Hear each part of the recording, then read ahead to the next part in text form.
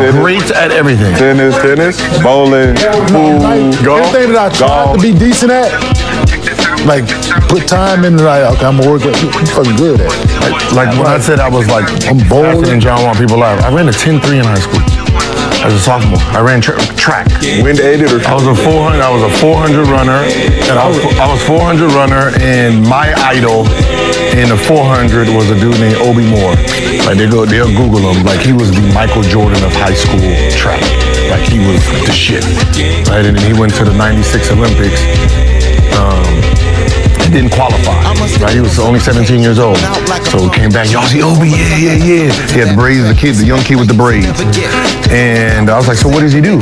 He was like, oh yeah, you know, four more years for the Olympics. And I said, wait, he got to be broke for four more years? oh, I quit. Man, quit. I didn't go back to. I did not run track uh, again.